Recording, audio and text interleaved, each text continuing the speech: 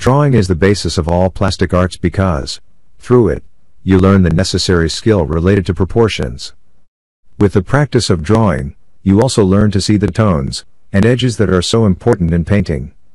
For this purpose, I recommend that you often carry a sketchbook and a pencil, or charcoal with you. Draw anything that is in front of your eyes. Practice as much as you can. This way, you will feel quite confident in deciding to paint your own face.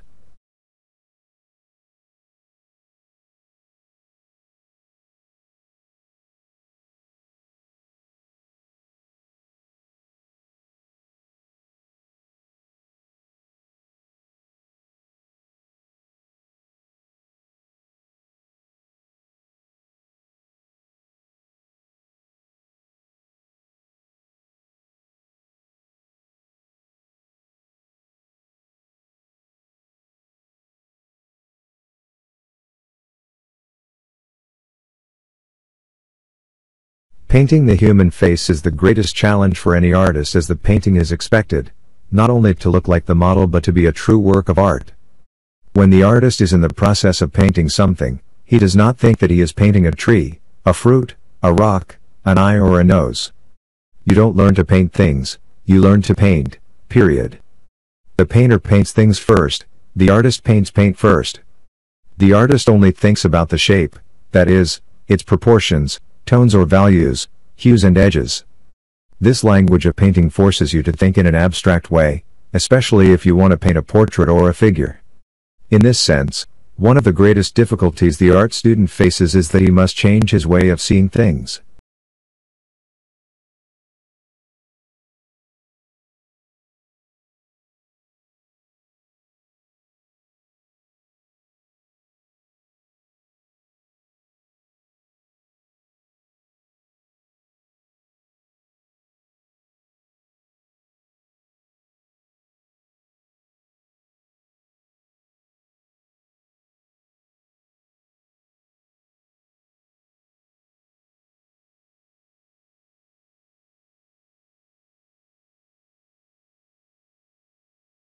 Although in order to paint, it is very important to know how to draw with some skill, there is a great difference between drawing and painting.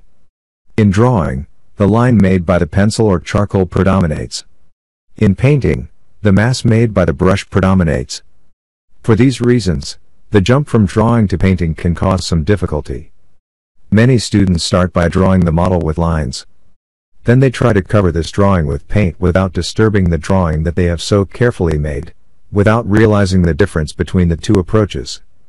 Also, since they are not used to seeing color, they only see different tones of the same color hue in the model. They cannot paint the different hues on the model's face because they cannot see them. Their work may end up as a colored drawing, of a boring monochromatic hue without the richness of the colors it should have. The student feels insecure, without being able to see the colors in the objects or models in front of him. Eventually the student gets stuck in his learning.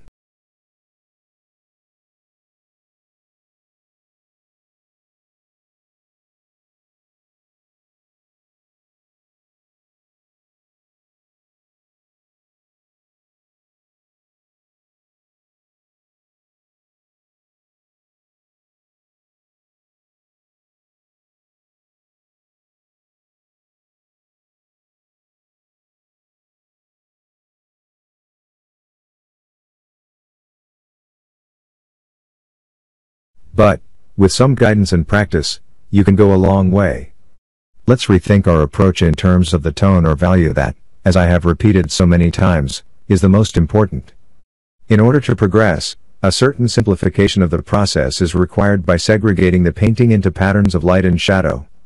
This massing should be as simple as possible. As I have shown previously, the first masses in a painting should be the shadows attached to any other dark area, be it the background or any other dark object. It is very important to remember that this initial approach should be the starting point when painting anything.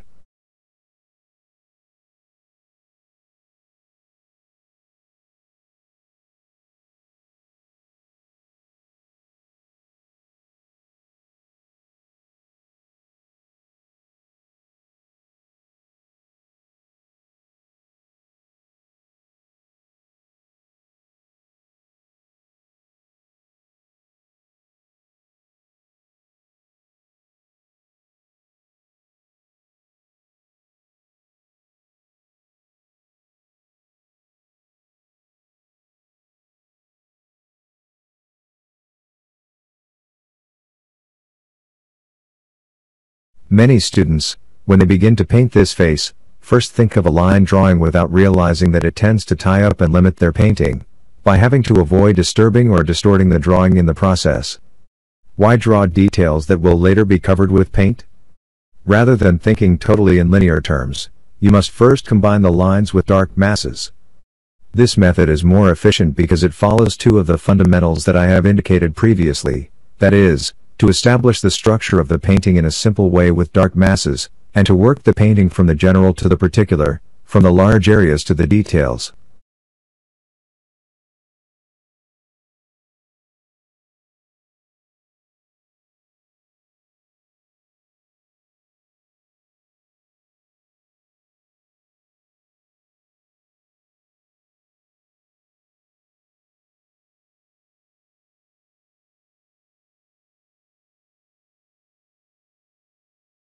Observe the same principles applied to the color in these other faces. I have outlined the important masses on the faces with black dividing lines for you to see them better. You must think in terms of these masses, instead of a totally linear drawing. To follow this method, you must squint your eyes, and establish the locations of the masses while keeping some proportion to the sizes and shapes of all the masses.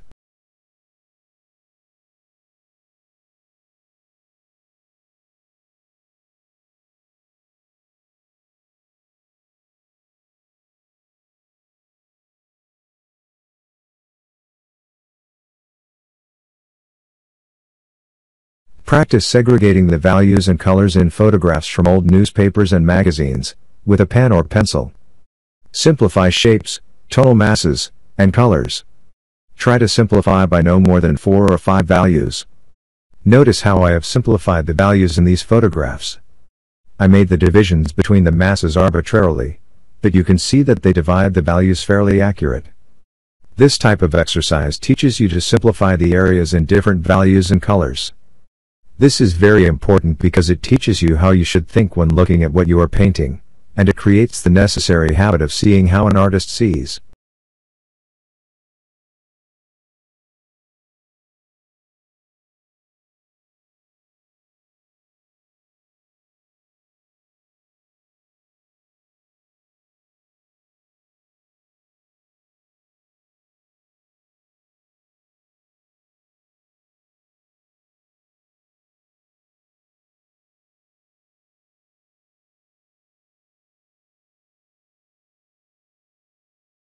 Let's look at an example of starting the initial massing.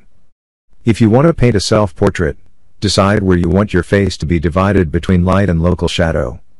As you turn your head towards the light, notice how the pattern of light and shadow changes. Remember, that you must be thinking of a tonal contrast like this one to establish the structure of your painting.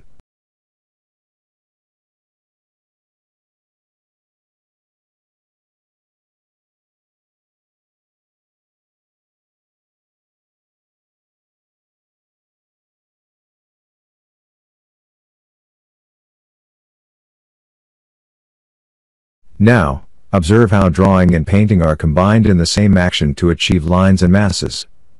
Using a large, number 8 or 9 brush, and a dark neutral color such as burnt umber mixed with ultramarine blue and a bit of medium, we seek to establish the overall shape of the design. You must forget about the details and think abstractly. Remember that you must squint your eyes every time you want to reduce the image to simple masses in terms of dark and light values. This is very important.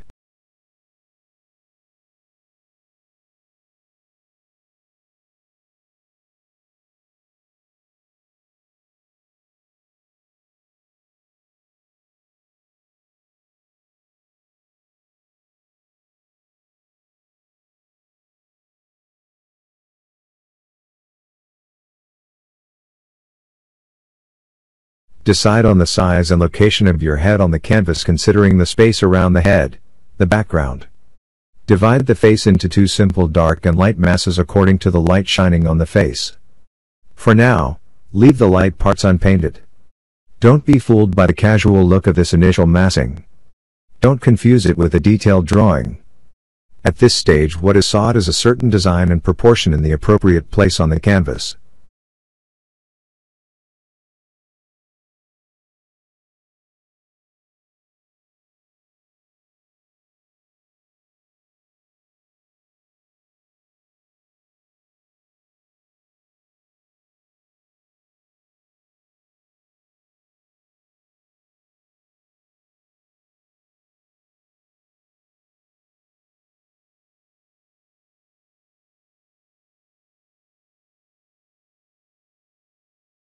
Mass in the parts of your face in shadow without much attention to the value changes within these shadows.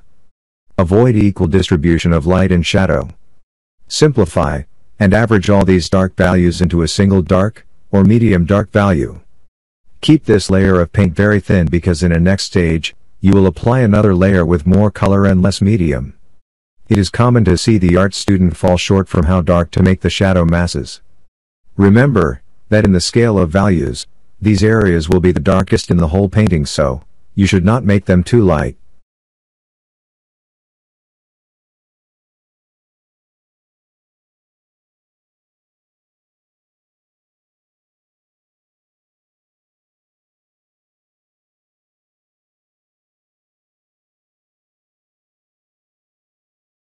Make these dark masses with loose brush strokes and no details but, as exact as possible. You should start with the larger shapes first because, if the proportions of these are right, the smaller shapes will fall into the right place very easily.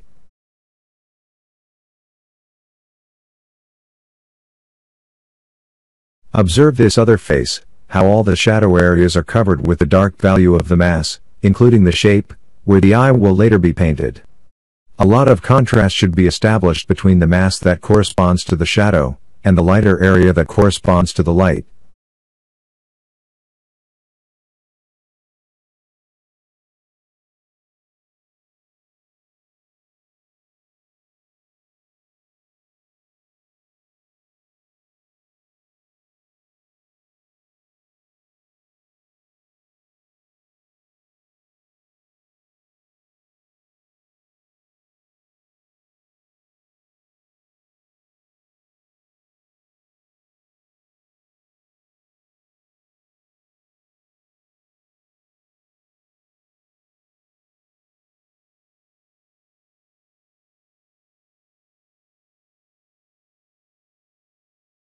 After massing the shadows with the appropriate dark value, you must modify the color of the shadows.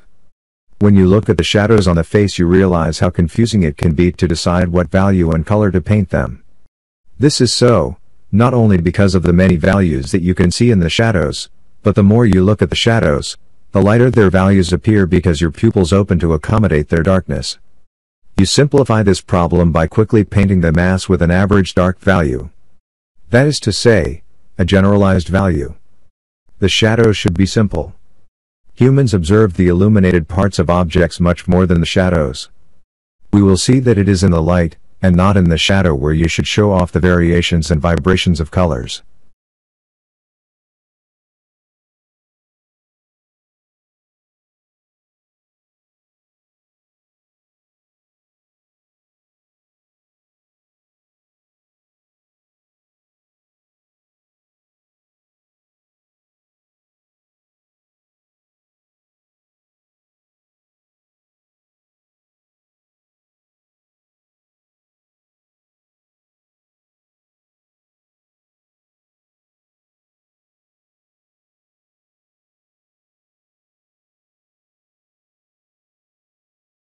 One of the characteristics that you can observe in the shadows of the objects is that there is a certain luminosity, or transparency that is much easier to achieve with warm colors than with cool colors. In this sense, it is possible to achieve shadows with enough transparency by applying a thin layer of any warm color, be it cadmium yellow, cadmium red or mixing an orange with both of these on top of the still wet dark mass. So, you can combine the dark of the burnt umber with the warm color. When sliding the brush with the warm color on top of the burnt umber, do not press the brush too hard so, as not to disturb the color underneath too much. Control brush pressure, until the desired value and color is achieved. Do not attempt any texture or modeling in the shadows as these are functions of the light colors in the light. Always keep a thin layer in the shadows. The impasto or texture with a thicker layer of paint is done in the light and not in the shadows.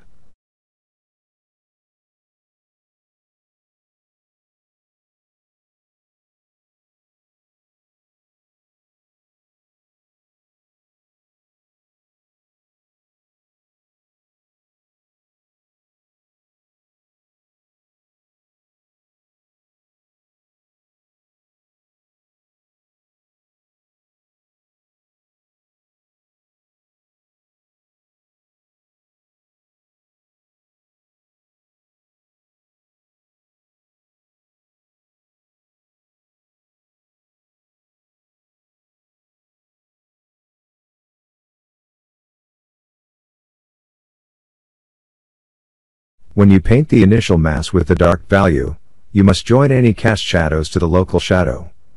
Both are of a dark value. You must remember that a cast shadow is created when some shape obstructs the light, creating a silhouette of it of a relatively dark value on some surface on the opposite side to the source of the light. The cast shadow is always related to the angle of the light falling on the object or model. Notice in this example, that from our point of view the light is coming from above, a little to the front, and to the left of the model. For this reason, the cast shadow of the nose lies elongated below and a little to the right of the nose.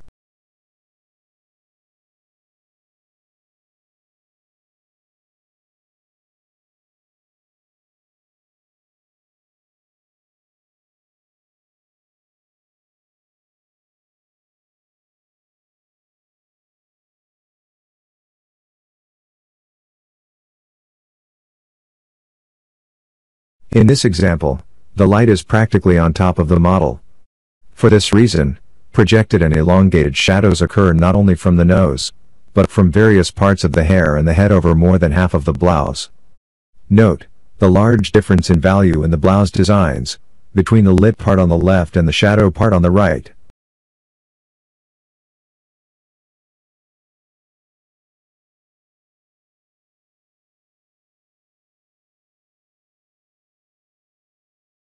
Here, the light comes from the left, at an angle of almost 45 degrees, and in front of the face.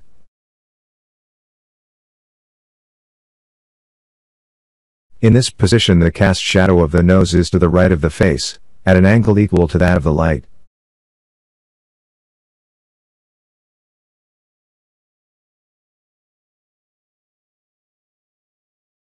Notice, a small difference between the darker value of this cast shadow, and the not so dark value of the local shadow.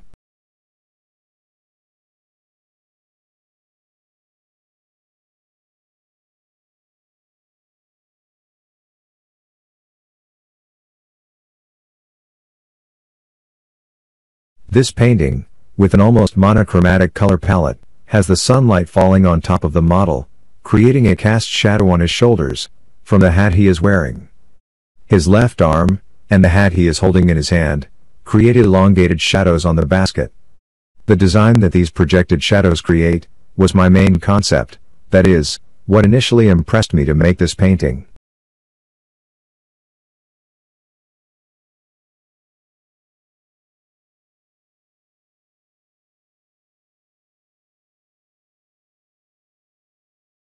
In this painting, at a subway station, my concept was the light coming from the back, creating cast shadows projected by the columns of the train station, and the people in the background. In addition, these shadows gave me the opportunity to put some impasto, thick paint, on the light on the floor to establish much value contrast.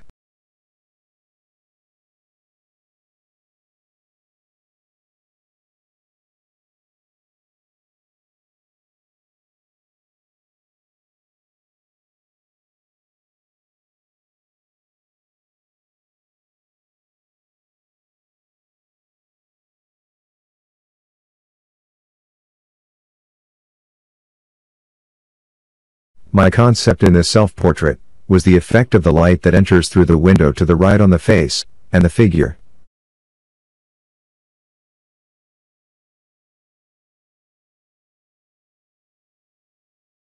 This creates multiple cast shadows with more detail than the previous examples, but follows the same reasoning.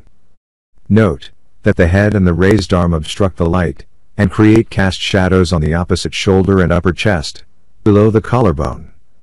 I have warmed up the color of these shadows with orange and red hues, at the same time made them a darker value. Almost all the edges between the light and the shadows have been kept soft. The cool greenish background balances the warmth of the skin and easel colors. This example shows that you don't have to use a complicated color scheme to achieve harmony in a painting.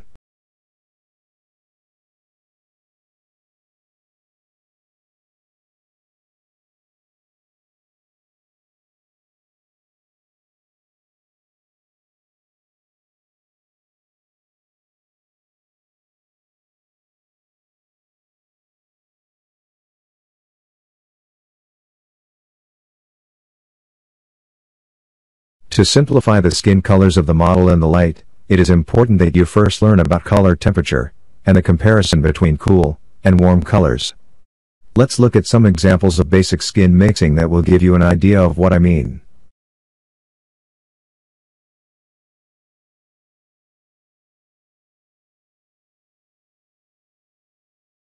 This is a graph of a mixture of white, yellow ochre, cadmium red and ultramarine blue.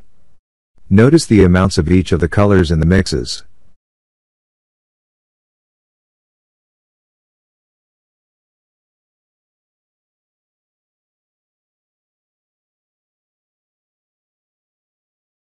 If you add more red then the hue would be warmer. Adding even more red would make it look even warmer.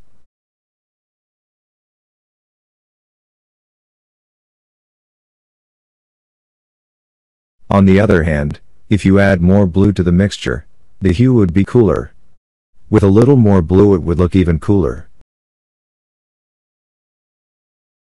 Now let's look at a skin color with a mixture of white, cadmium red, yellow ochre and alizarin crimson on this diagram.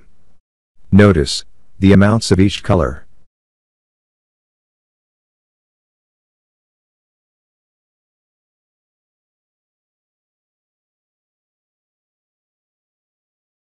If you add more alizarin crimson then, the hue would be more purplish and cool.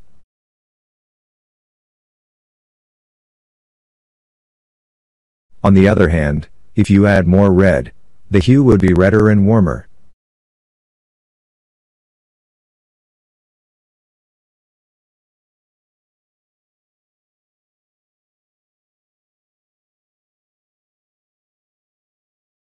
Keep your mixtures simple, with no more than three or four colors. Don't make big alterations to a mixture by adding a huge amount of some color to it. It is best to slowly approach the color you want, by adding small amounts to the mix until you get the color you want. Sometimes it is best to start a new mix if it strays too far from the desired color. These have been just a few examples of skin color mixtures. The skin could be seen in practically any color, so you must observe both the color of the light source and the local color of the skin to mix both cool and warm colors.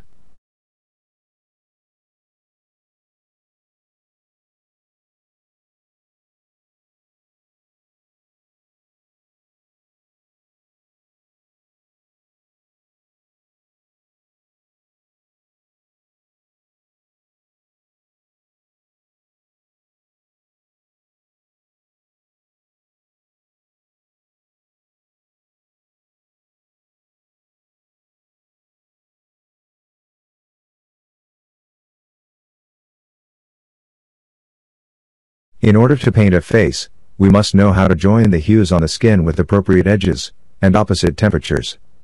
Notice, the different hues and temperatures in this exercise. Observe here, the warm hue above, and to the left side, where it is darker than a lighter toned, cool hue on the right. The high contrast is due not only to the fact that, they seem to be complementary colors of low intensity, but are separated by a hard edge. This drama is obtained with a hard edge between a dark and a light tone of two complementary colors.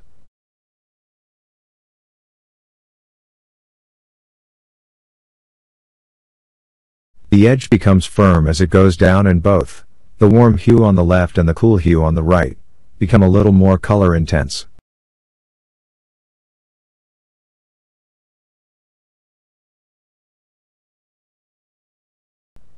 As the edges go further down, both warm and cool hues have been mixed in the center, creating soft edges and thus their intensities have been lowered. Yet, the warm hue prevails on the left and the cool hue prevails on the right.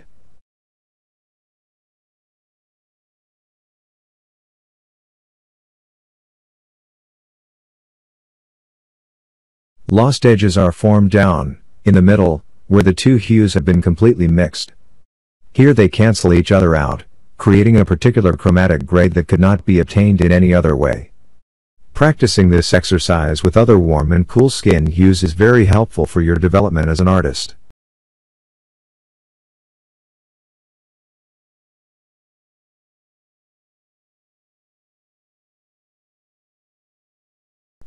Here are more possibilities. You should start painting skin colors in the light simply, with two generalized skin hues like these examples, one warm and one cool.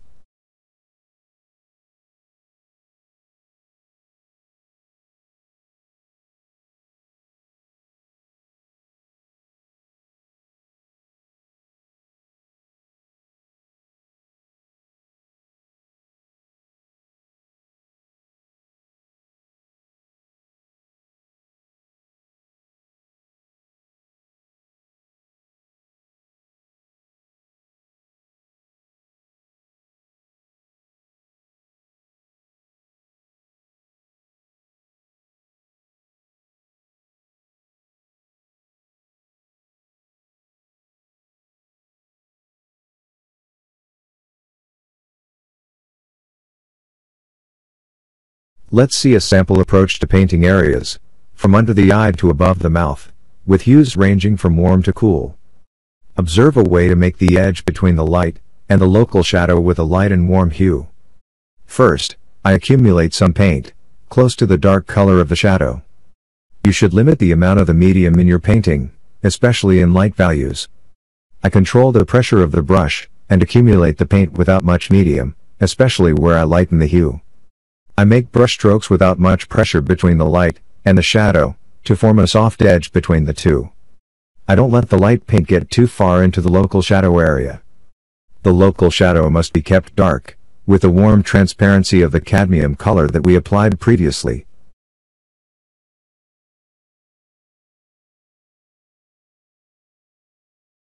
I accumulate more paint, creating a certain amount of impasto, or texture where the value is lightest. I keep working the edge, following the border I made with a local shadow.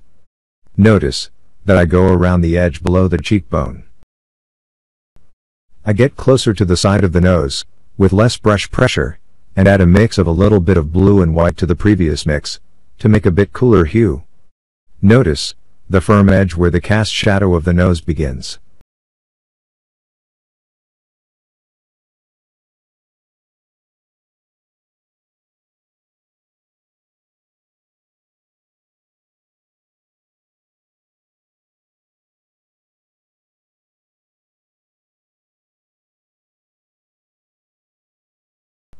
I go back to work a little higher and below the eye, where I see a little more orange hue on the skin, so I first warm the mixture with a little bit of cadmium yellow and almost no red.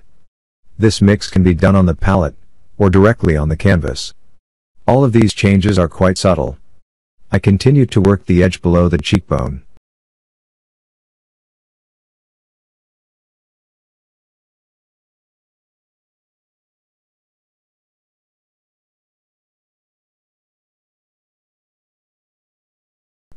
Then, I mix a very small amount of orange color of more intensity and apply it on the edge, where the skin turns towards the shadow. A greater intensity is almost always observed in the color that lies between the light and the shadow or penumbra.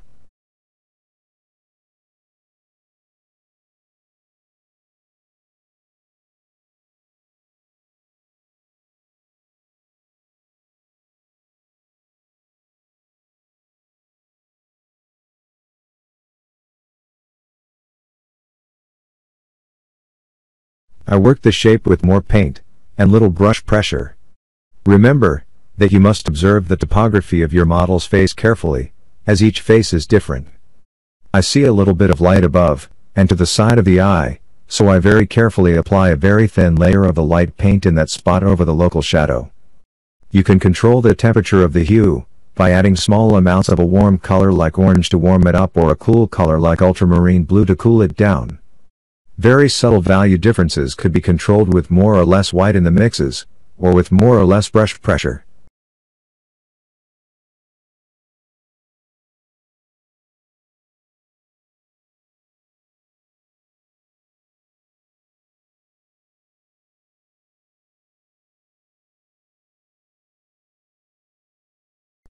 I realized that the value of the hue immediately under the eye could be lighter and cooler.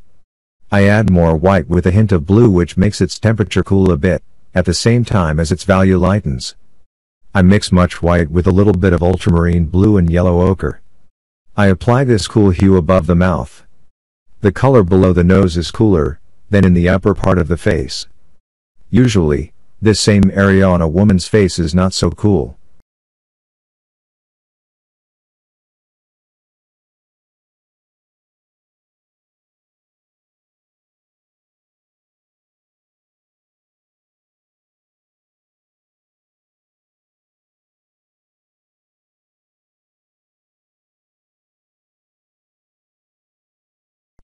See an example dividing map areas in the image that shows what you should look for when looking at the skin topography. I have divided the hues into pieces of different temperatures with green lines, indicating the thinking process that you should follow.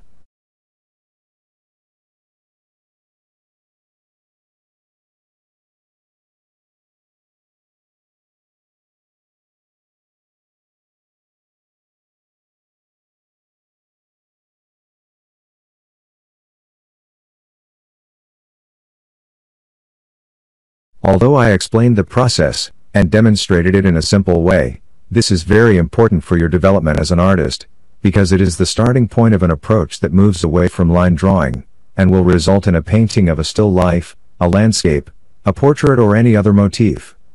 You should fix in your mind this method of simplifying the values and colors as if they were pieces of a jigsaw puzzle. Notice the simplification I show with lines that are meant to separate some pieces of color and value. You don't necessarily have to draw these lines. I have drawn them only to show how you should think when looking at your model. You can easily mass in these areas with your brush without drawing the lines.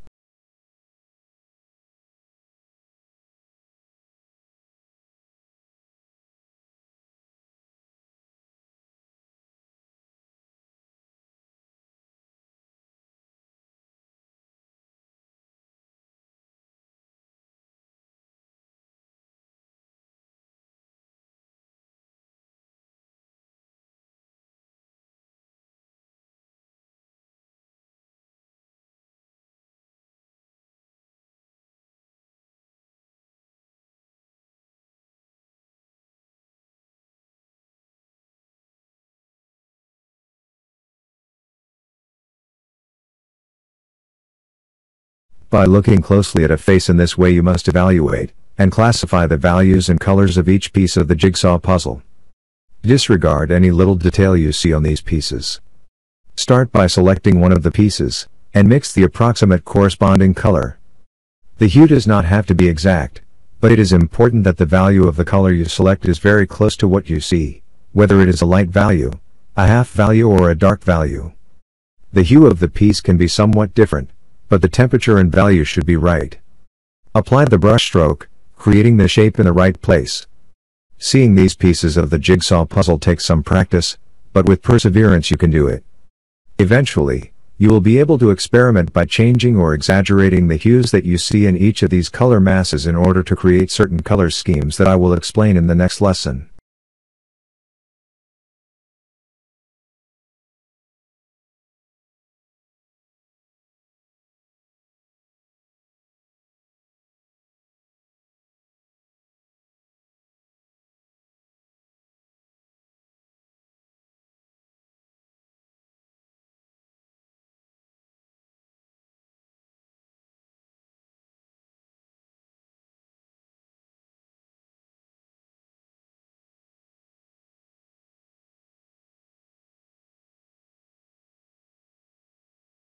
After painting the pieces in place, you should observe the edges, or connections between the pieces.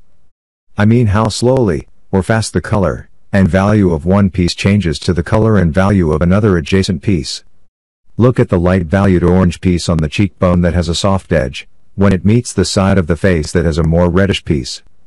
To achieve this edge, drag the brush between the two pieces of paint still wet, if you follow this method without thinking about things and only thinking about this plastic language that I have explained, I guarantee that, as if by magic you will get an image of the topography of the skin.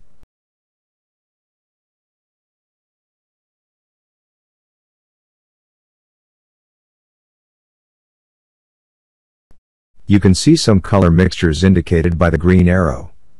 I initially covered the canvas with a cool gray of half value to get rid of the white colored canvas, this makes color and value evaluation easier. Resist the urge to paint the details, that is, very small pieces of color. These details are done when finishing the painting.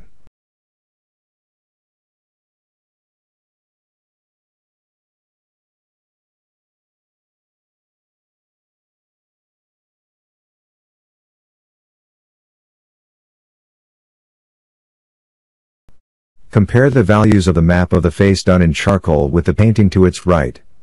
You must do many exercises like this one to create the habit of classifying values. Practice creating these maps many times with your self-portrait until you can do it effortlessly.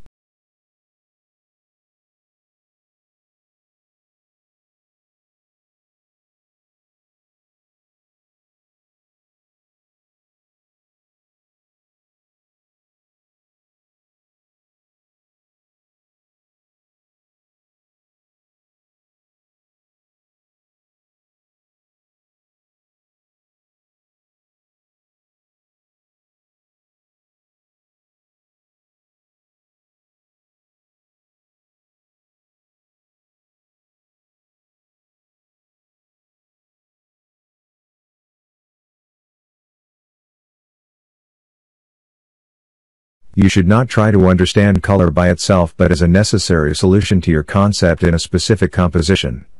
Although there is no right or wrong way to manage color, there are fundamentals to help you achieve better results. From the moment you start putting colors on canvas, you should see how the colors relate to each other. To achieve harmony of colors in a painting, you must work with a scheme that pleases our eyes and that includes warm and cool colors.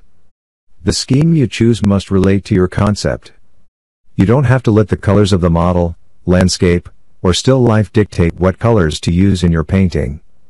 These can be used as a reference to select your color scheme. The scheme must be a simple one that includes analogous colors, next to each other on the color wheel, that dominate the painting and some complementary color, opposite on the color wheel, subordinate to the dominant ones. The area that the dark values occupy should not be equal to the area that the light values occupy the canvas, following the hierarchy principle. Likewise, the dominant analogous colors should occupy a greater area of the painting than the subordinate complementary colors. In other words, your painting should be mostly warm or mostly cool.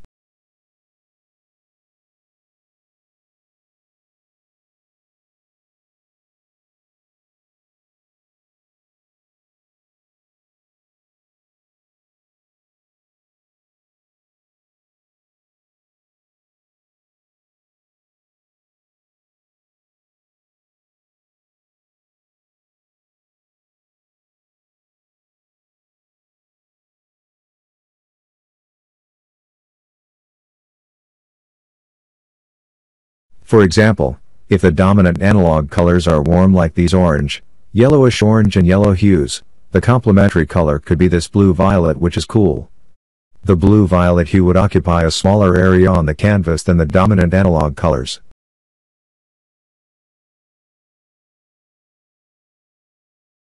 In this other example, the dominant hues are the bluish violet, violet and reddish violet which are cool while the complementary hue is yellow which is warm.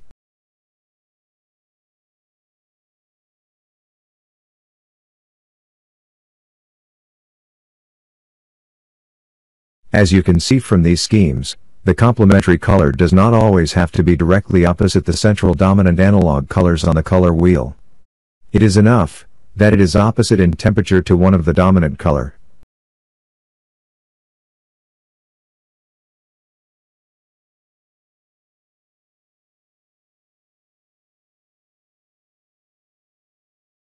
The dominant colors could be 4, instead of 3, like those ranging from reddish violet to orange. Notice that the red color is present in each of them.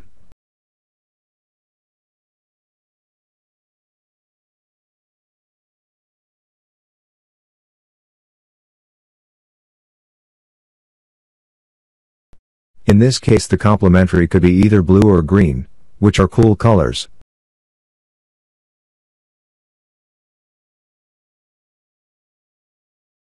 Now, Let's see the following color scheme applied to a specific painting. Notice the face and shirt in this painting. They are dominated by reddish and violet red analog hues, which are warm. While part of the face and the background shows a yellowish green, which is cool, complementary and subordinated to the dominant hues.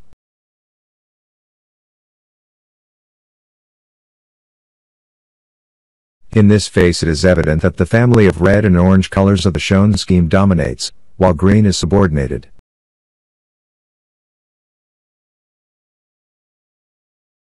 In this group of teenagers, there is a scheme of several warm reddish dominant hues, and a subordinated blue. Find the color scheme that you like, and try to create a design into your concept.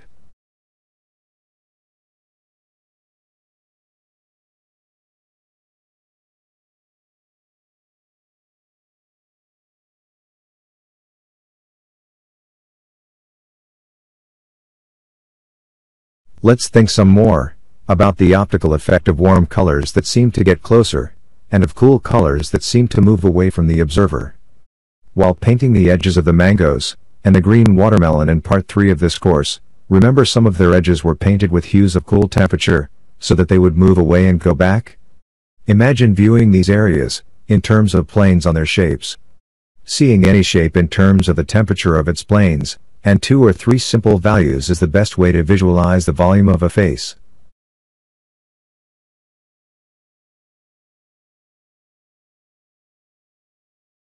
This type of approach goes a long way toward keeping control over what you are doing. It is easy to get confused by the different hues and shapes that you see on the face. But, if you keep your attention on the temperature and the general value of each plane, you can build a solid shape.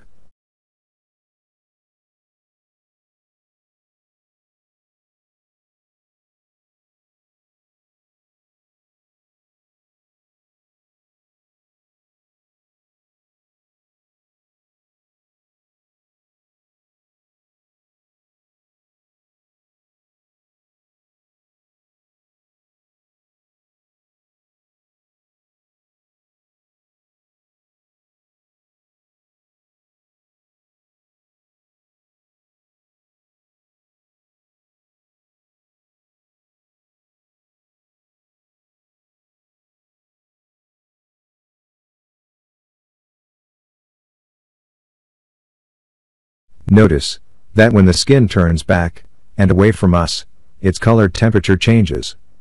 If the plane lies at an angle to the light, it generally looks cooler than a plane facing the light. When you see an oblique plane with an overall cool hue, paint it with this hue first and then you can change it a bit, but without changing its color temperature.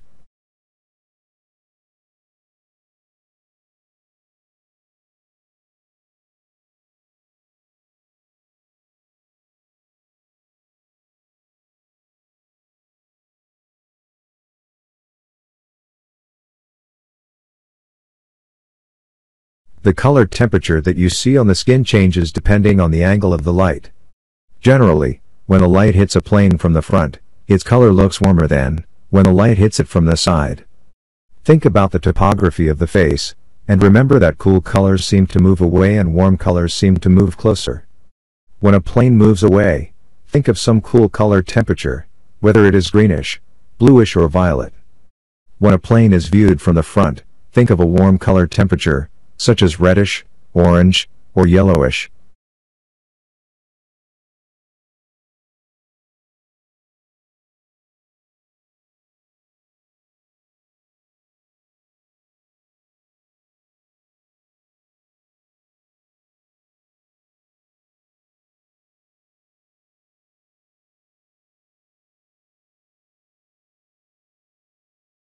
Notice the cool hue on this plane and its warm variations, which do not change the overall color temperature, that is kept cool. As you observe the skin topography, you should select areas of different colors, and classify them as warm, or cool.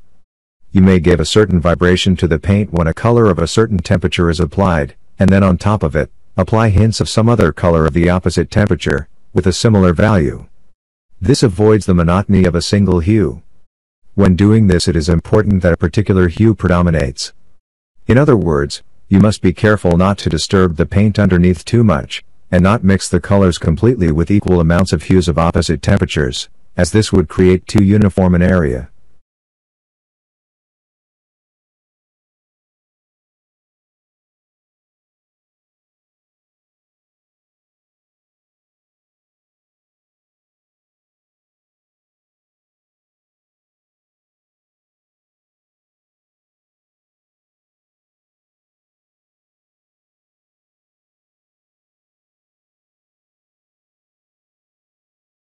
To keep some harmony, repeat colors from your color scheme.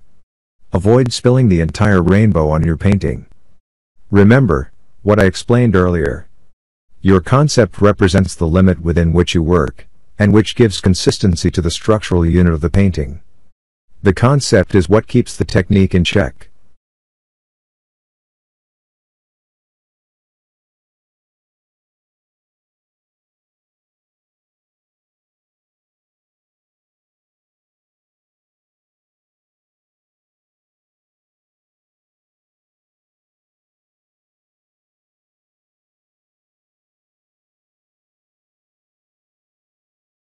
The skin color in the light can be of any hue depending on the local color of the person's complexion and the color temperature of the light. When you see a hue on a plane with a different temperature than the generalized color of the rest of the skin, mix it up on your palette and apply it to the particular area. Then you can create edges to join the area to adjacent hues. Don't be afraid to stray from the generalized or averaged hue which you mixed in in the beginning. Try to get rid of preconceptions that things are of a certain color. The sky is not just blue, the tree leaves are not always green, and the skin is not pink or orange all the time. Be honest, see the color, mix it up and apply it in the right place.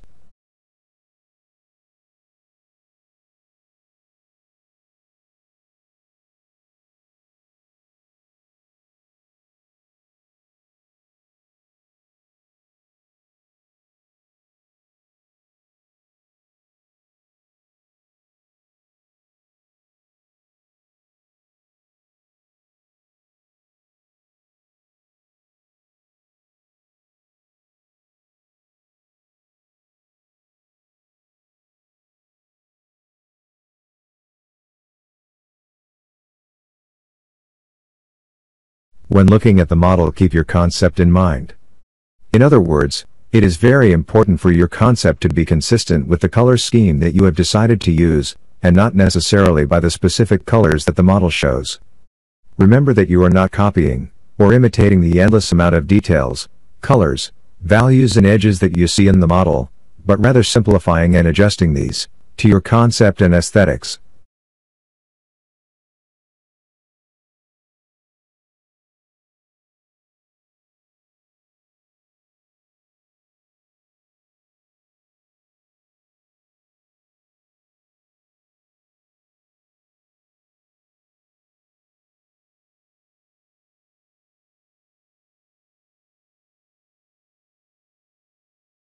Oblique plane should not be completely and evenly covered as if painting a wall. Observe the places where a cool color, be it greenish, bluish or violet, becomes more evident, and apply the brush brushstrokes selectively. Play with the color. Observe changes in the skin topography, and use them as references for variations in value and color. This makes the painting more interesting. In the same way, observe the frontal planes and identify where the warm color is most intense, be it reddish, orange or yellowish. Observe changes in value and color in the skin topography.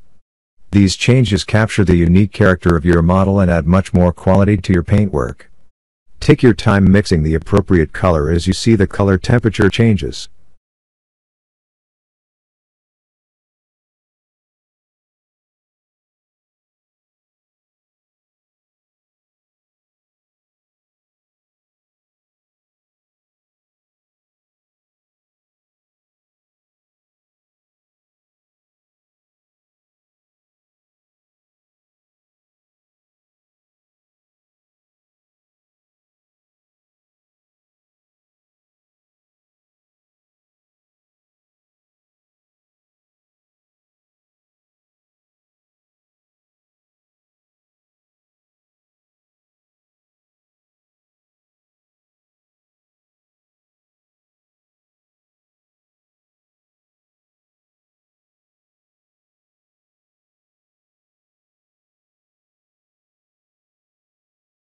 To take advantage of and maximize the plastic impression of the paint, you can apply it thicker and selectively on places where the light falls directly on the skin showing some highlights.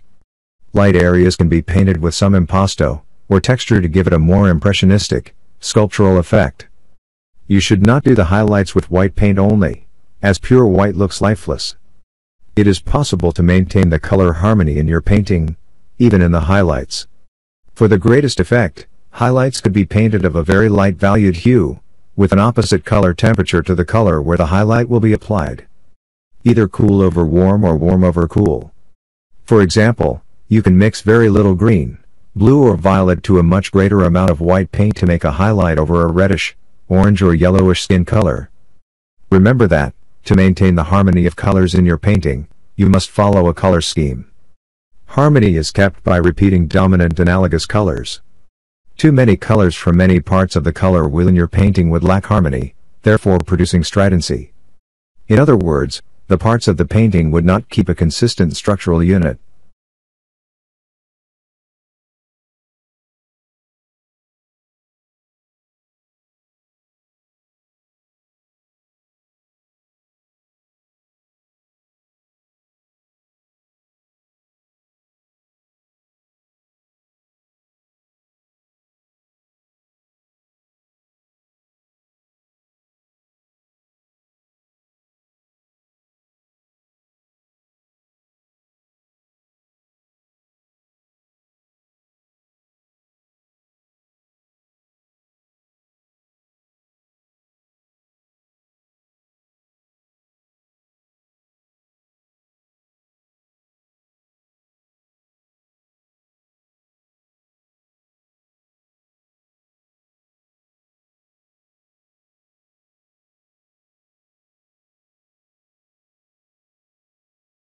Of all the details of the face, the eyes attract the most attention. These, like other facial features, should be painted after the general shape of the head and its place on the canvas have been established. The eyes should be painted as forms joined to neighboring forms, never isolated. I suggest this sequence as a way to simplify the process of painting the eye.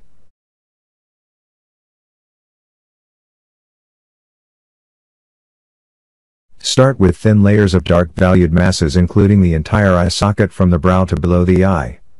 Notice the shape of this particular eye a bit diamond-like in the straight, diagonal line of the brow. Pay attention to particular shapes.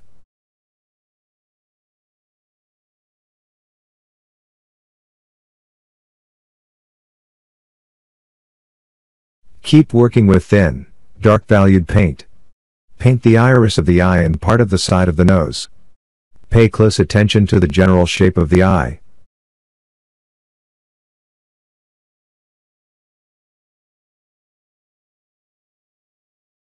Look for the dark, half-value areas, and begin to paint the general skin color.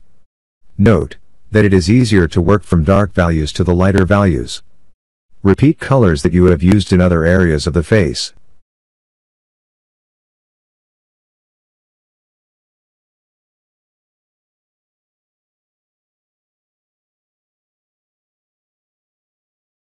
Keep working towards the lighter valued hues. You can mix the hue of the whites of the eyes, with a little skin color and white, or mix white with two complementary colors, to achieve a low intensity light color. Do not use white only.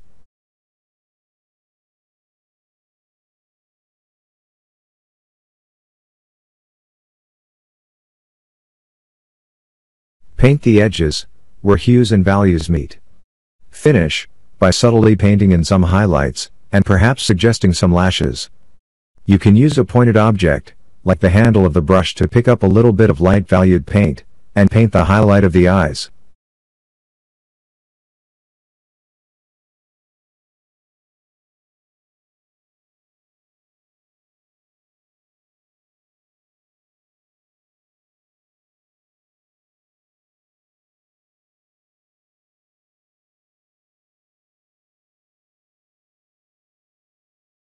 All eyes are different.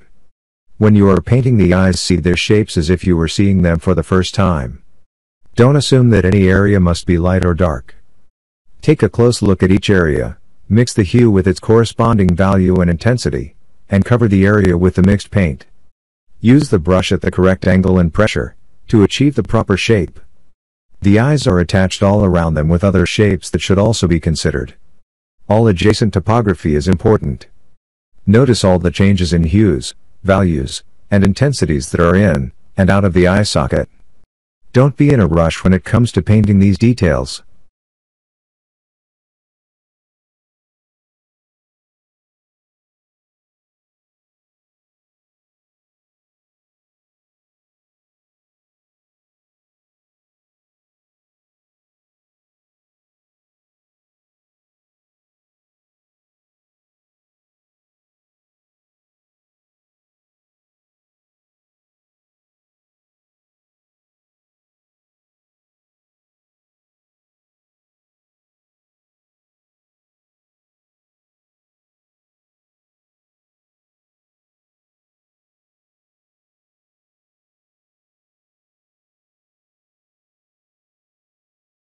I emphasize the dark values of the shadows, as these represent the structure of the painting.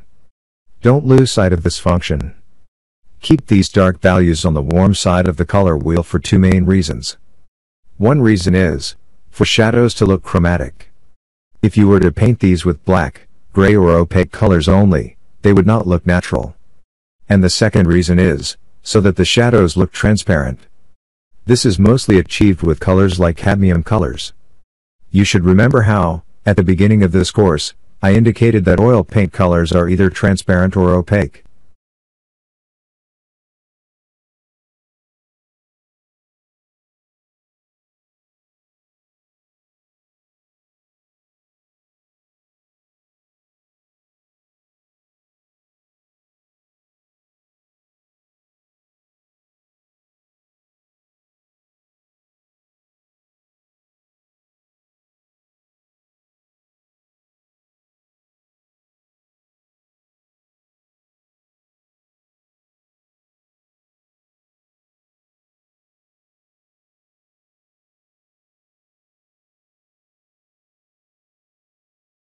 Since cool colors recede, I mix a cool, low intensity, half value hue, where green predominates, to paint the area farthest from the nose, between the two eyes, and higher between the two eyebrows. This green hue is one of the dominant analog colors in the scheme I chose on the color wheel. While the complementary of this color scheme is orange-red. I slightly soften the wrinkle that comes up, and out from the side, at the end of the nose, towards the center, between the two eyebrows, and begin to lighten the area, where the edge of this wrinkle faces the light. I also lighten the small area of the upper eyelid, on the right where the light falls.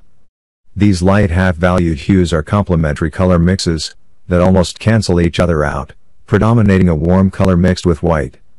For the small highlights in these areas, I add more white to the same mix but, cool it down with very little ultramarine blue.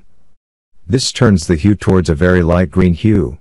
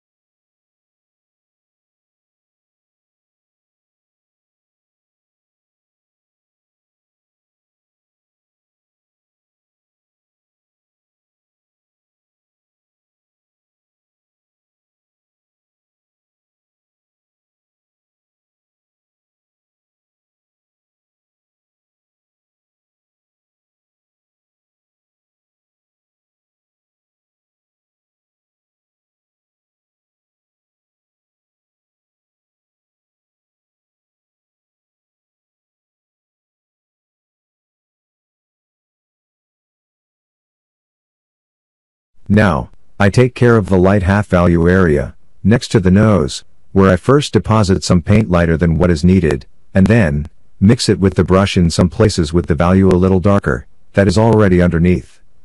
I control this darkening manipulation of the value, with subtle brush pressure. I stop when it gets as dark as the value I need. I keep working the half value wrinkle line, that comes down between the eye, and the nose. Parallel to this wrinkle, the skin rises, where the light falls. Here I thicken the paint a bit, and deposit a light value, cooler hue.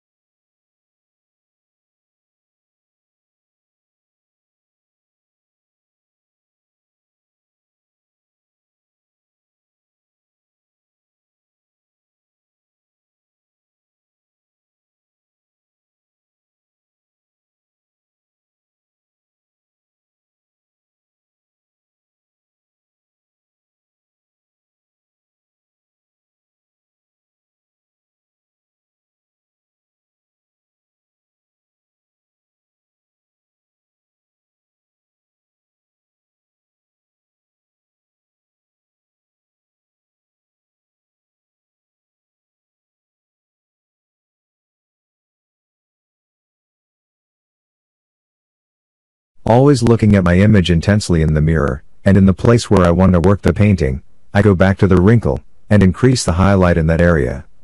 I don't use small brushes for this purpose, as I like to maintain a certain looseness in the forms. With small brushes, the artist feels enslaved towards making more defined details. Of course, it all depends on the look you want to achieve.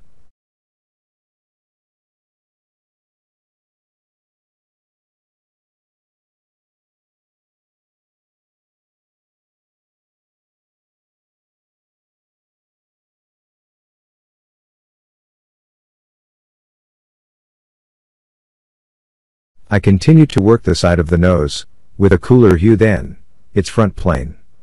I deposit a light value amount of paint and then, move it with little pressure of the brush against the darker, and warmer paint that lies underneath. This creates some subtle contrasts, and some texture that add quality to the painting. While I manipulate the paint, I am evaluating where the half values, and lighter values should be.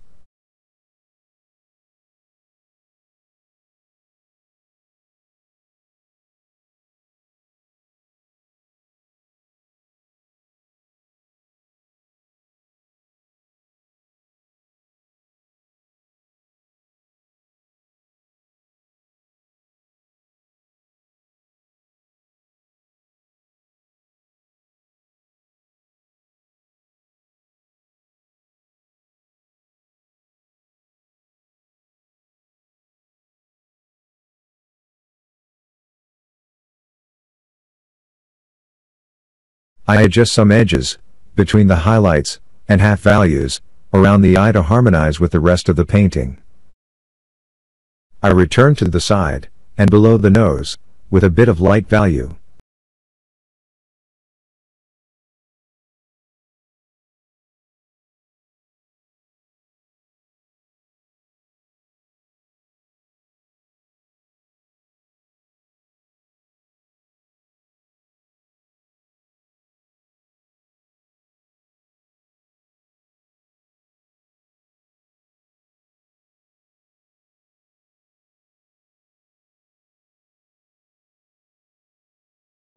Then, I darken the part under the nose a little, repeating the cool, and greenish hue because here, the light does not come from the front, but from the side.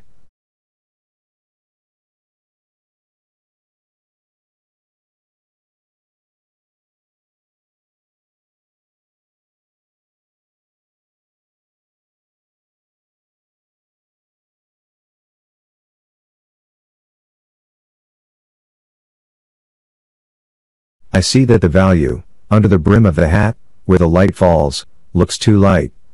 I darken it a little, repeating the cool greenish hue.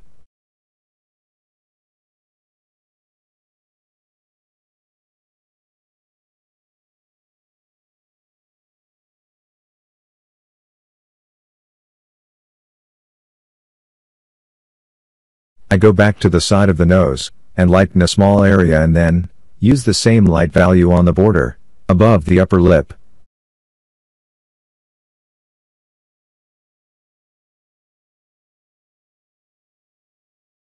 Notice how you can make small light valued brushstrokes by carefully handling the tip of a medium or large brush.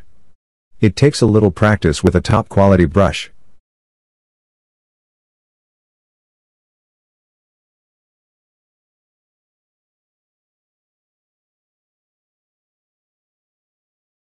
Although, the ears are further away than the side of the head, they are usually seen with a warmer hue.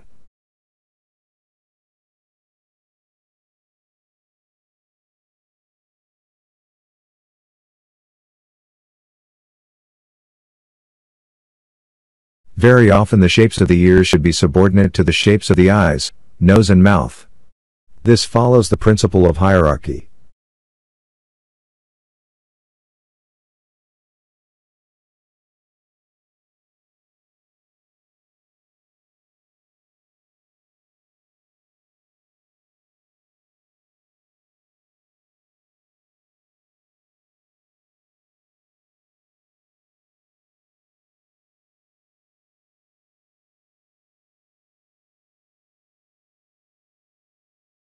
I apply orange paint, that is, a warm color on the edge of the ear.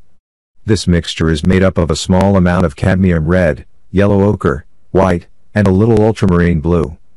The skill of mixing colors is acquired when you realize that, to obtain a certain hue you need as much of this color, as much of this other color, and thus, you realize that some colors have more tinting power than others. In other words, they dominate other colors easily.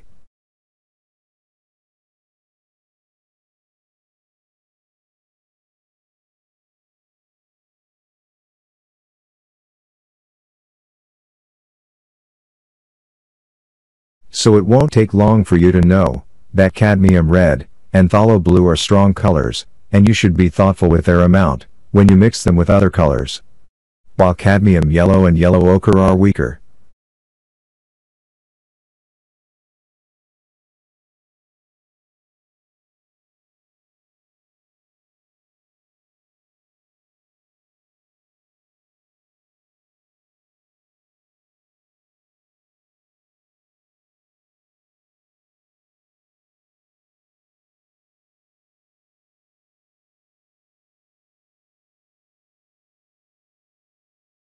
Simply paint the hair as a dark, or half-value mass, based on its local value. Then, paint the large shapes, and the most prominent strands or portions of the hair.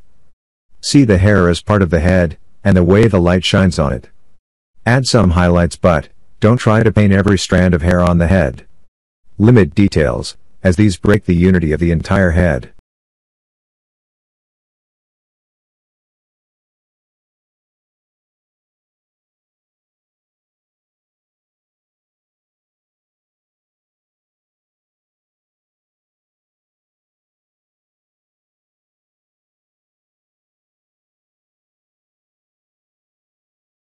I see the hair, a little darker under the hat, and also see that the lower part of the ear catches more light. I add a little more white to the mix on my palette, and lighten the value of the lower part of the ear. I continue to work the ear with lighter values in some places where the light falls.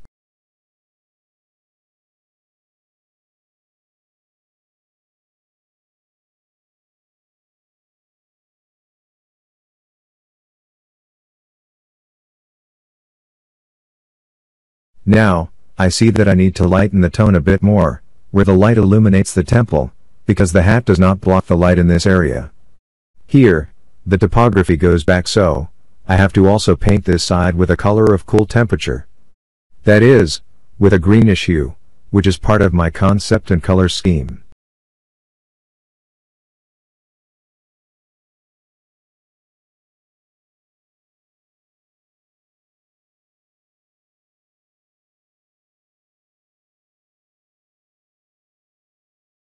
On the contrary, as the skin turns to the front, it acquires a warmer temperature color.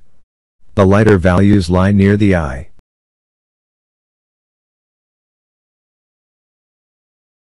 Note, that whenever I look at a place on the topography of the face, I am thinking in terms of its value and hue as well as the angle of the plane.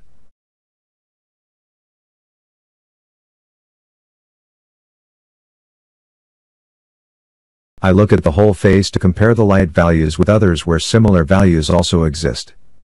This way, I try to harmonize the whole painting by balancing its values and hues.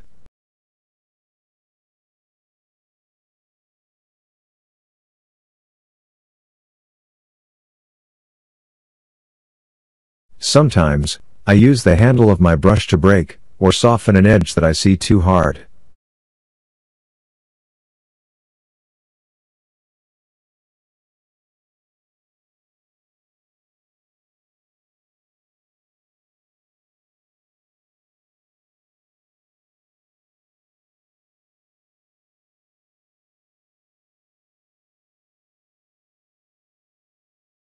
Although, there is no rule for painting the background of a portrait, we must be aware that, there is a greater amount of atmosphere between the face and the background, due to the greater distance from the background.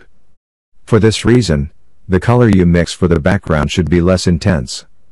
For this purpose, I recommend lowering the intensity of these colors, either with their complementary colors, adding burnt umber, lightening with white, or a combination of methods, as needed. Remember, to harmonize the background with the face, by repeating in the background, some of the same color that you have used on the face.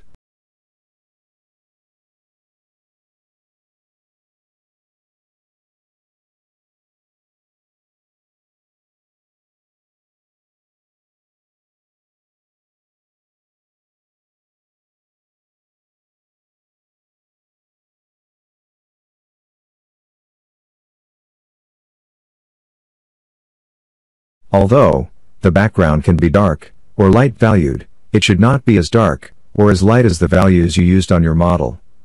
This is because with distance, the atmosphere grays both light and dark colors. So, any light shape in the distance looks light gray, and any black shape in the distance looks dark gray.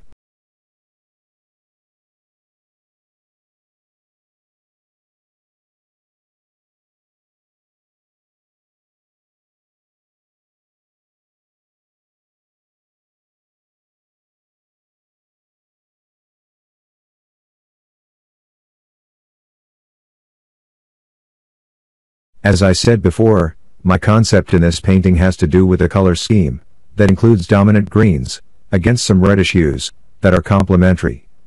In this sense, I continue to work part of the background on the left side with a low intensity dark green hue, which contrasts with the much lighter value of the face on that side. This contrast pushes the head forward and the background a certain distance to the rear.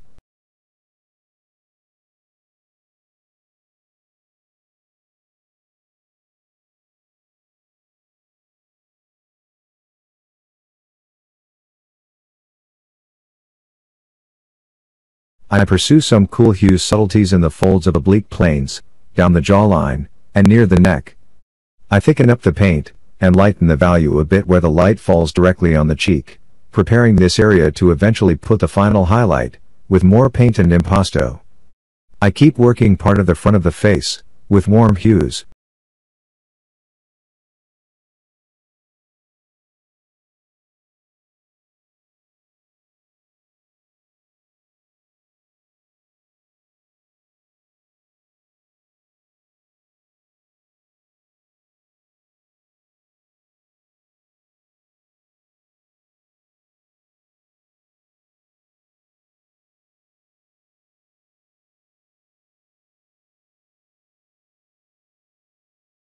The frontal plane of the nose must be warmer than its oblique plane, as this plane is moving back.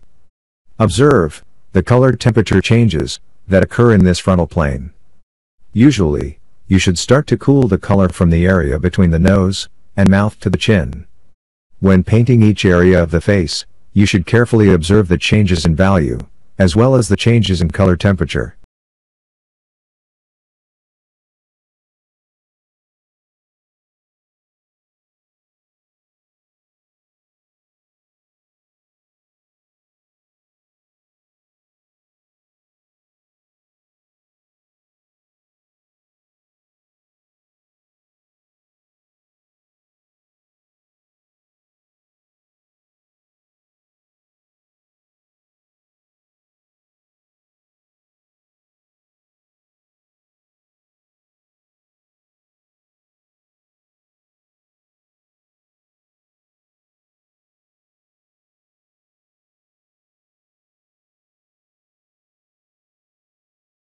You have already noticed that, all the colors that I am applying in this painting belong to a predetermined color scheme.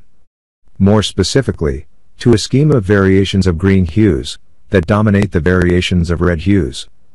These light value greens, half value greens, darker greens, yellowish greens, and bluish greens occupy a larger area than the light reds, half value reds, and darker reds. All the details that I am painting are resolved, based on these variations. Whenever you paint, you should visualize the continuity of the color wheel, and keep it in mind. For example, on the color wheel, green is connected on one side with yellow, and blue on the other side. This is why, we can work from green to both yellowish green, and bluish green, which are analogous colors. In this sense, it is possible that the reddish hues, that we use are orange red or violet red. This color scheme helps to create harmony in the painting. Of course, this is not the only way to achieve harmony. It also helps, by creating edges between both temperatures, texture in places where the light hits directly, introducing some cool hues, or warm ones and creating an arrangement of hues, of greater and less intensity in the appropriate places.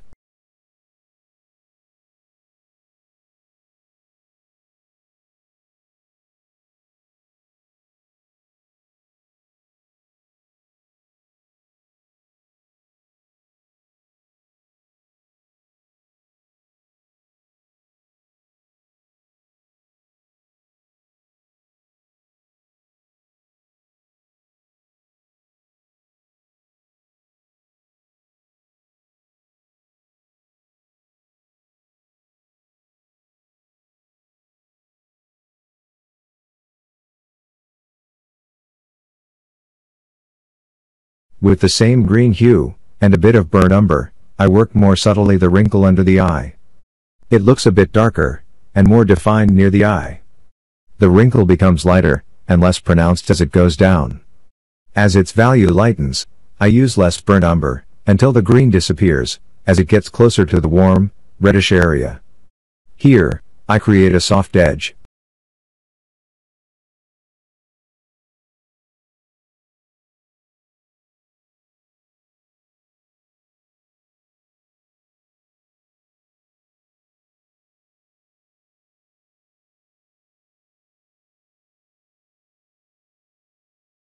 Now, I take a closer look at the side of the nose, and see some areas with cooler and lighter hues. I want a bit of texture there, to break up the monotony of a single hue.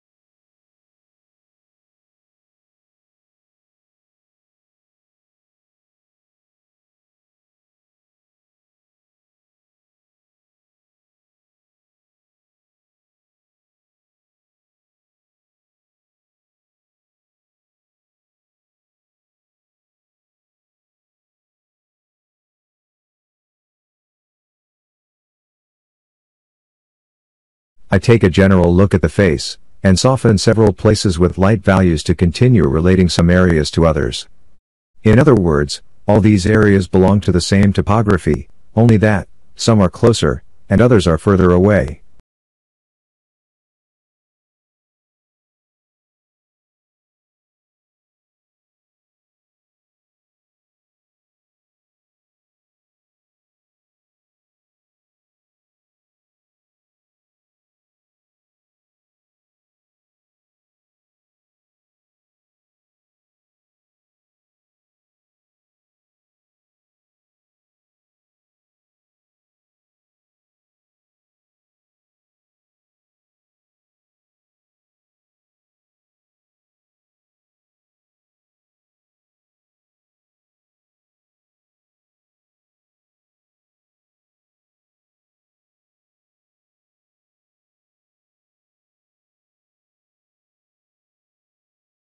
I work the areas of the nose where I see warmer hues. I selectively move some light paint to the side, where the light falls, while I leave the darker values where the surface of the nose turns towards the local shadow. It is important that, once you establish your local shadow, you don't proceed to lighten it, with hues that belong in the light side. Doing so, means damaging the structure of your painting. The edge that separates the light from the shadow above the nose, is a soft one, in which the intensity of the warm hue increases a little,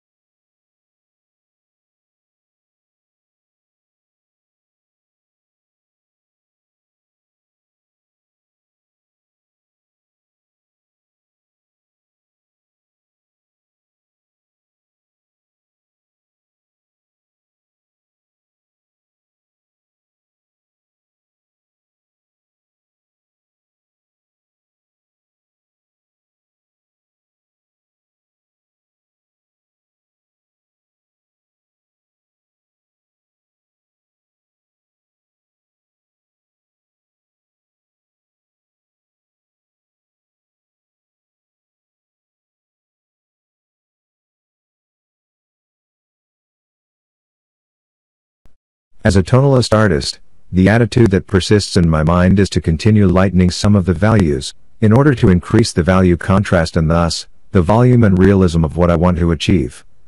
This requires knowing when, and how to manage the amount, and size of the light valued paint layer.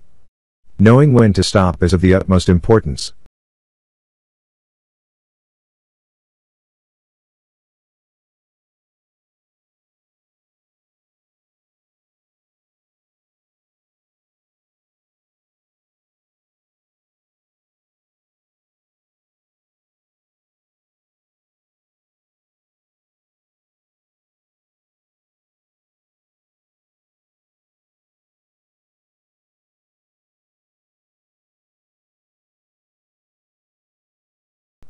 The artist has to know what he wants to achieve, otherwise he does not know where he is going, or when his work is finished.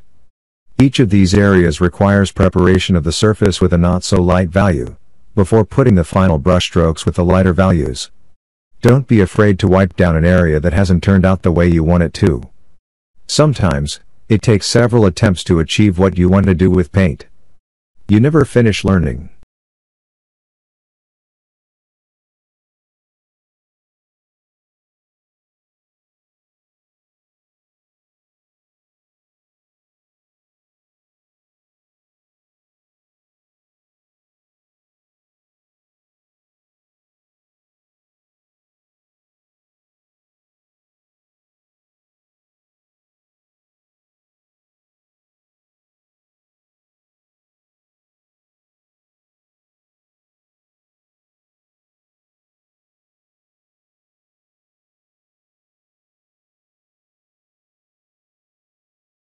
It's important that the ratio of the size of the hands, to the head and the rest of the body, be correct. There is no other way to achieve this, than by regularly practicing drawing. As I indicated earlier, developing this skill is absolutely necessary. You can draw or paint your own hand, in many poses, until you have mastered its proportions. Vary the light shining on your hand, from different places. Paint the light, and local shadow as well as the angles, and sizes of the fingers, in relation to the palm of your hand.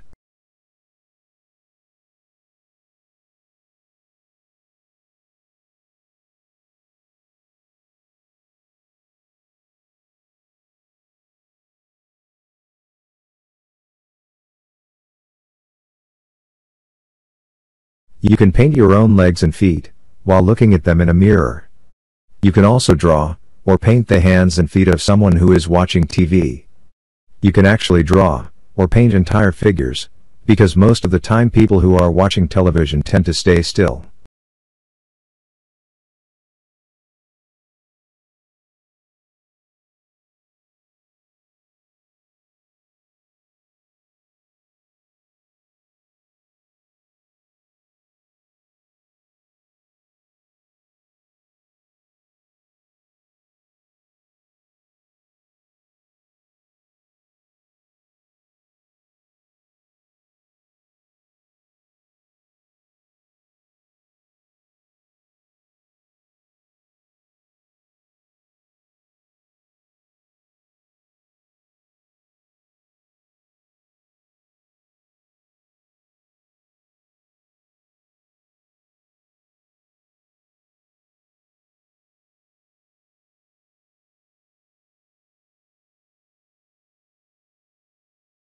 Soft edges make features blend into the whole face, and not appear disconnected.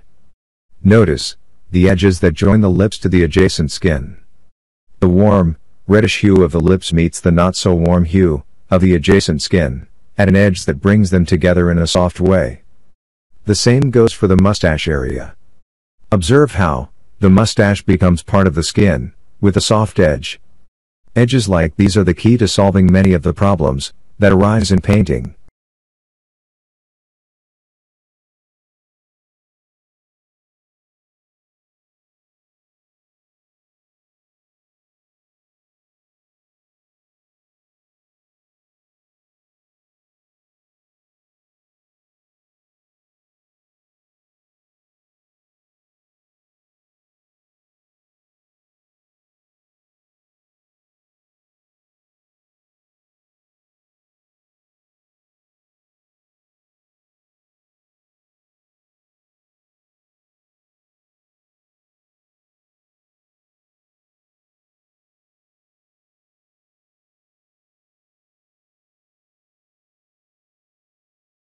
I observe the side, where the light falls on the upper lip, and whose reddish hue has a greater intensity.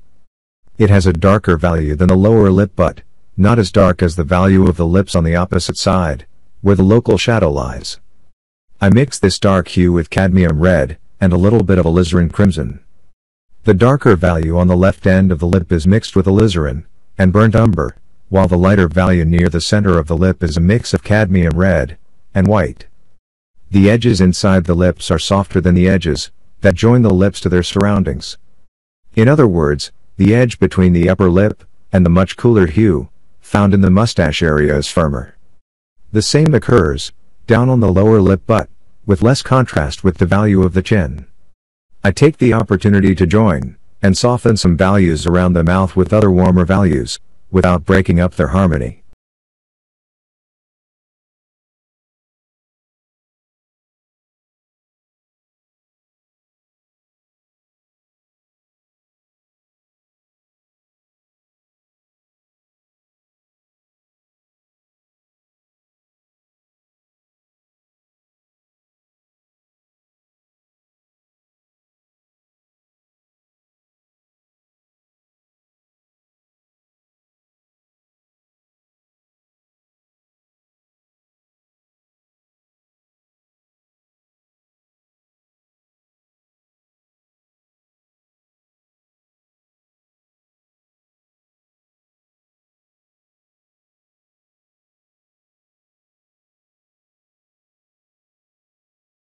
Painting teeth in an open mouth is not difficult, if you follow the same principles of light and shadow that we have explained. Some students view each tooth separately, rather than as a single shape. We know that certain things are white like snow, clouds, part of the eyes and teeth but, we don't paint them white because they don't look white. Don't paint the local color of things with preconceived ideas. Squint your eyes, and observe the different values and hues of the teeth.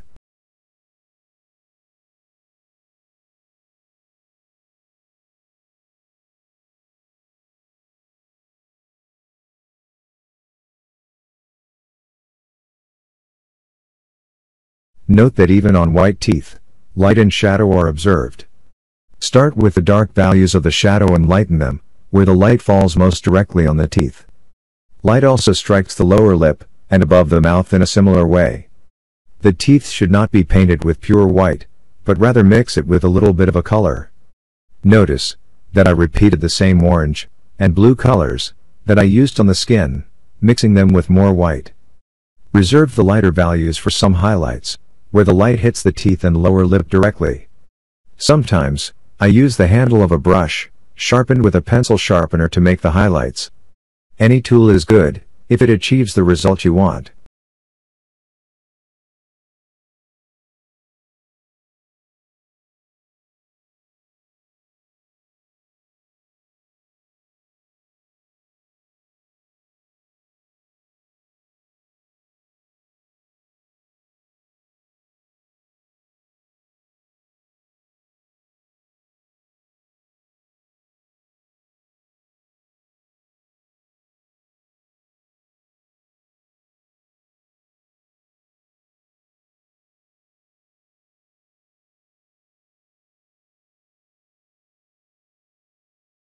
I look for opportunities to work on some details that can improve the quality of my painting. For example, I enhance the contrast between the dark values of the eyebrow and the cast shadow under the hat against the much lighter value that I will eventually place on the brim of the hat.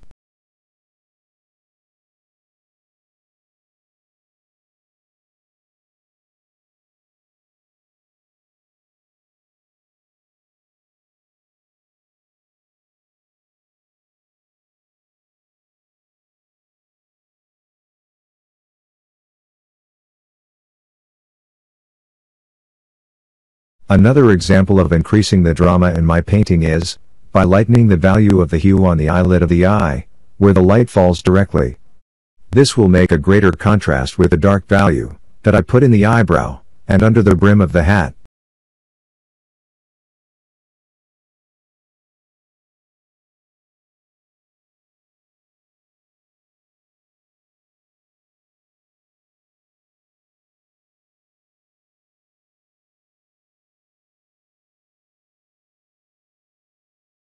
I am interested in raising the value as much as I can in those places, where the light falls directly but, without overdoing it. These opportunities, lead me to create as much emotion as possible, due to the contrasting tones. Of course, all this has to do with my chiaroscuro concept. I observe all parts of the face, alternating my gaze between my image in the mirror, and the painting.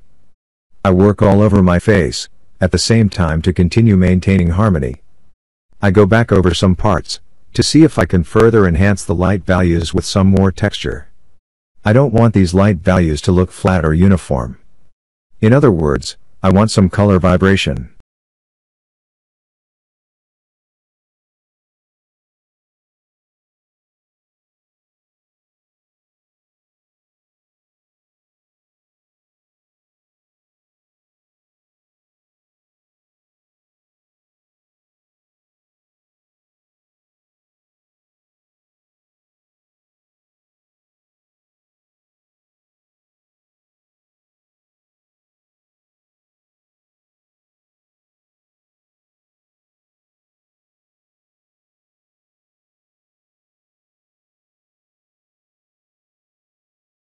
To make small brushstrokes on the lips, and around the mouth, I am using a filbert brush number 6.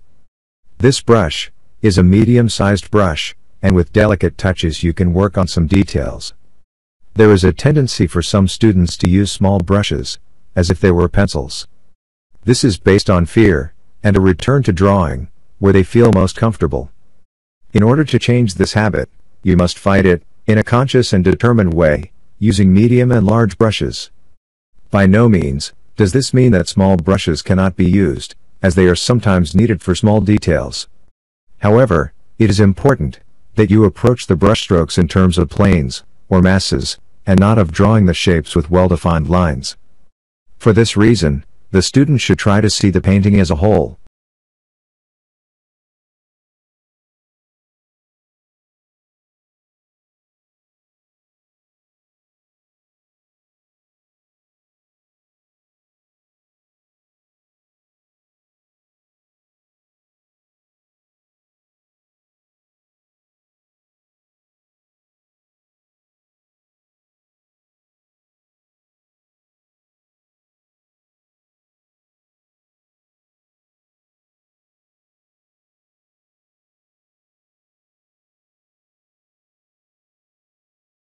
As artists, the brush is our main instrument, and sometimes the brush does not behave the way we want. Mastering the brush requires a certain amount of practice. In addition to my previous suggestion on the size of the brush, you can consider my previous recommendations regarding the position of the hand, its angle, the pressure and the amount of paint in the brush.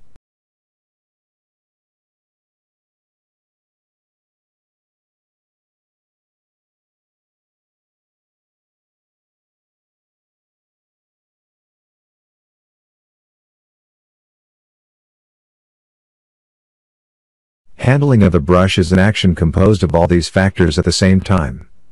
In order for the result of our brush stroke to look like the one we want to achieve, we need to learn to manipulate the paint.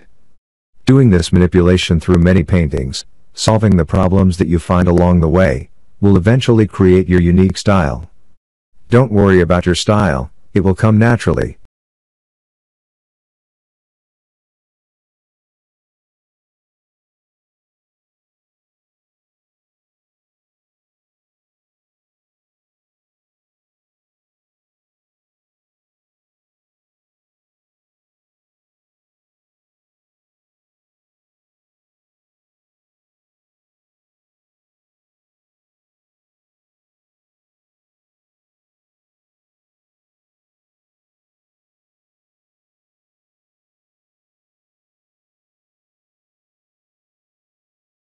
Again, with the same purpose of looking for opportunities in the light values to contrast them with the dark ones, I retouch the dark values, to emphasize the drama as much as I can. I keep working on small details that can improve the quality of my painting. It's always good, to take a general look at your painting, to detect any areas that may be out of harmony with the rest of the painting. You must know what details to include, and what details to leave out. This is where your concept becomes more important as you are the only one who knows what you want your painting to look like.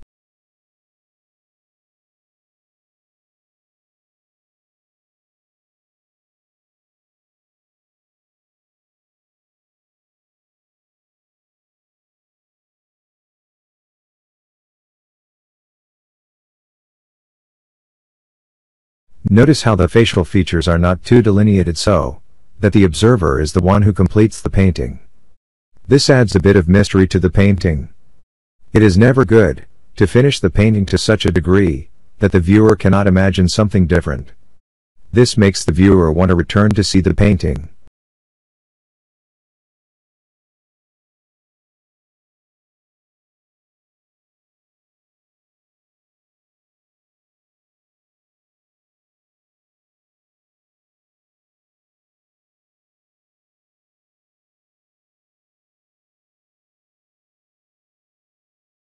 I see that.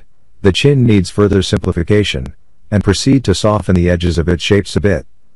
This simplification harmonizes with the other edges on the face.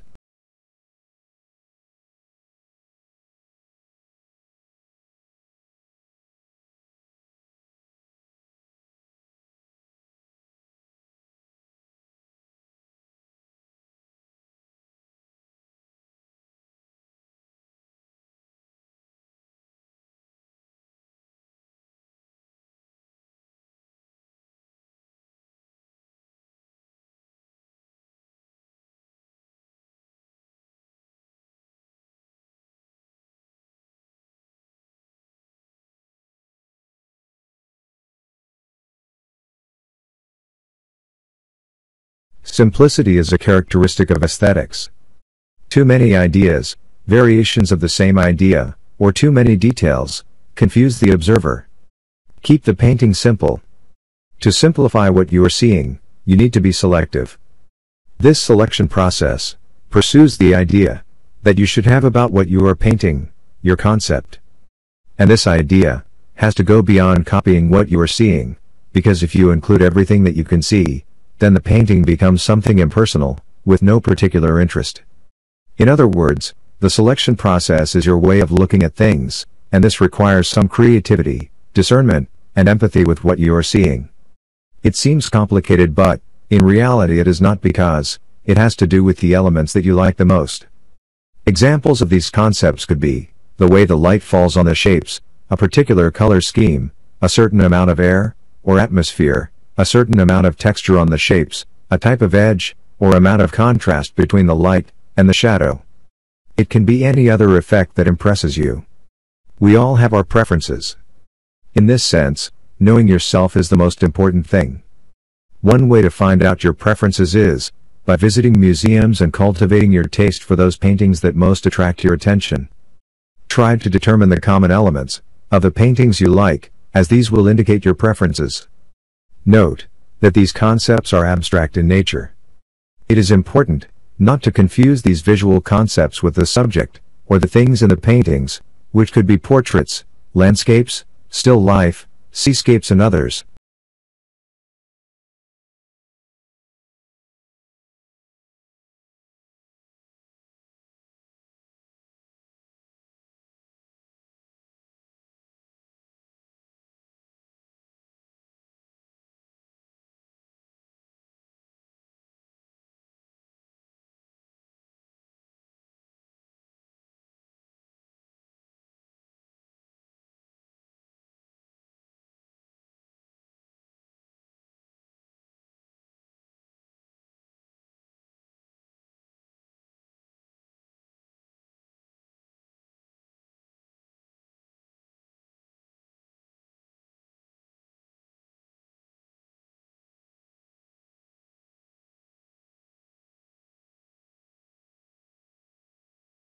You may have noticed that, the divisions of values and colors that I have been explaining since the beginning of this course, do not really exist.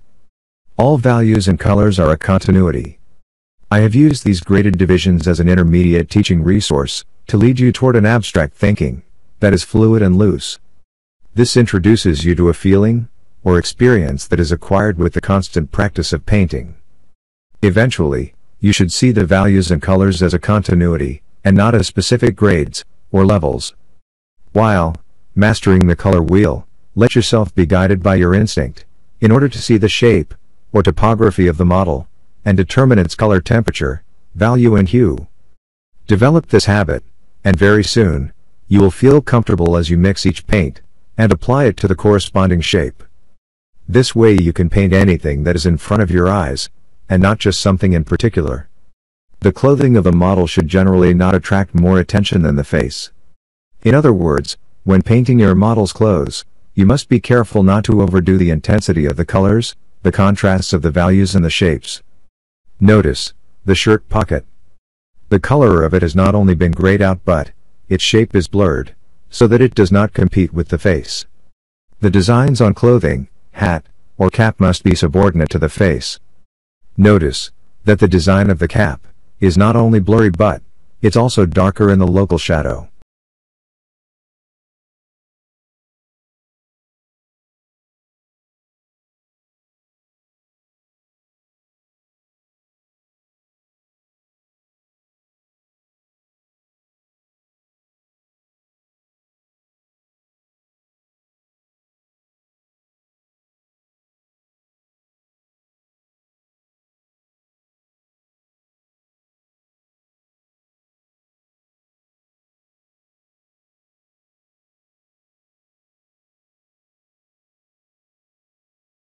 The hues on the hat emphasized my color scheme, with dominant, analog greens, and complementary, reddish parts of the skin.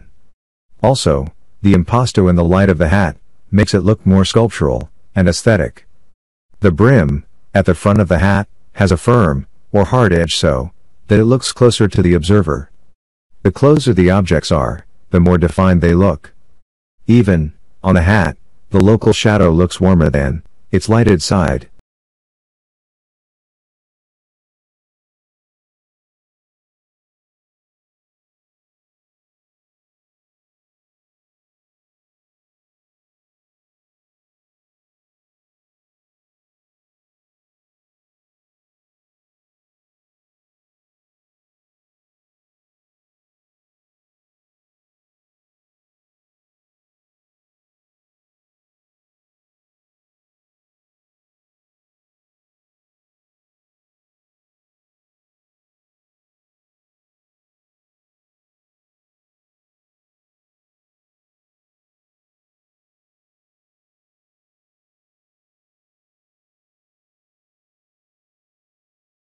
Your progress in oil painting depends a lot on your attitude towards it.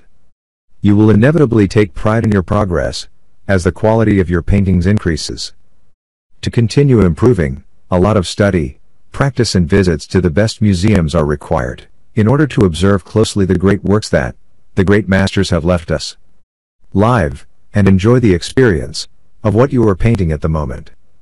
Play with the paint, by moving it with your brush to solve the problems you find. You should know that there is always a relationship in the painting problems you find. First, as your powers of observation sharpen, you will solve the most common problems of value, hue, and temperature. But then, these solutions will become part of more complex problems such as composition and balance. All these experiences in turn will be integrated into the solution of problems that have to do with the experimentation of your ideas. Gaining experience takes time so, don't worry about the final outcome. Oil painting is all about feeling the plasticity of the medium. Just enjoy the ride. Always remember that, the purpose is enjoyment.